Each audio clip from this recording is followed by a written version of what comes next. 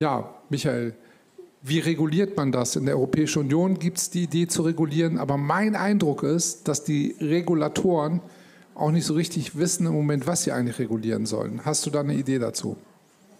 Auch Ideen gibt es dazu äh, mehr als genug und ich glaube im Übrigen nicht, äh, dass äh, Regulierung äh, Teufelswerk ist. Die Frage ist ja immer, wie präzise sind wir dann selber in der Sprache und um was geht es eigentlich, wenn wir über KI sprechen? Geht es da um ChatGPT? Ähm, geht es da um Systeme, die ähm, Krebs früher erkennen können? Äh, geht es um Systeme, die Arbeitsabläufe in Fabriken vereinfachen und erleichtern. Ähm, KI ist ja jetzt äh, nicht irgendwie eine monolithische Struktur, sondern äh, das sind ähm, äh, Algorithmen. Algorithmen sind nichts anderes als Arbeitsabläufe, äh, die so gestaltet sind, dass sie bestimmte äh, menschliche Tätigkeiten oder vielleicht auch menschliches Denken nachahmen. Und äh, mit dieser Fähigkeit der Nachahmung gehen natürlich verschiedene äh, auch Gefahren einher, aber es gehen genauso viele äh, Chancen äh, damit einher.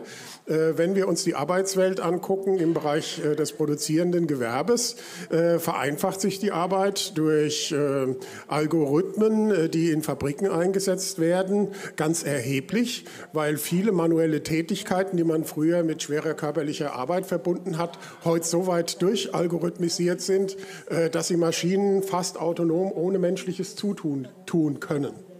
Das ist eine positive Entwicklung äh, von künstlicher Intelligenz. Das Erschreckende, und damit will ich auf deine Frage zurückkommen, ist vielleicht jetzt festzustellen, dass auch intellektuelle Tätigkeiten, Tätigkeiten des Denkens, Arbeitsabläufe des Denkens von diesen Maschinen imitiert werden können. Und ähm, algorithmisch nachgeahmt werden und auf einmal diese Nachahmung des menschlichen Denkens äh, vielleicht an ein paar Punkten sogar dem menschlichen Denken selbst gegenüber überlegen ist. Also wir können keine Statistiken so schnell auswerten, wie das sinnvollerweise eine KI machen kann. Und äh, dann kommen wir an einen Punkt, äh, wo Erkenntnisse, die eine KI darüber erreicht, eben zum Beispiel das Erkennen von Krebszellen äh, bei einem Hautkrebs, äh, eine fundamentale Bedeutung äh, für die Gesundheitsvorsorge haben kann. Also es ist äh, sehr komplex über KI äh, zu reden, weil KI in ihrer Ausgestaltung sehr differenziert zu betrachten ist. Und ich finde, man muss sich immer fragen, um was geht es denn bei der KI? Geht es um die Generation eines ähm, generative KI eines Bildes, eines Textes? Äh, Geht es darum, äh, Arbeitsabläufe in einer Fabrik zu verändern? Geht es darum, Krankheiten zu erkennen? Um was geht es ganz konkret bei der äh, KI? Und dann müssen wir uns überlegen, wie sollen die Modelle dann, dann gehandhabt werden äh, für den konkreten Fall? Also wir können das nicht pauschal sagen. Ich habe mir schon überlegt, ob ich nicht so frech bin, weil es ja um Autorenschaft geht.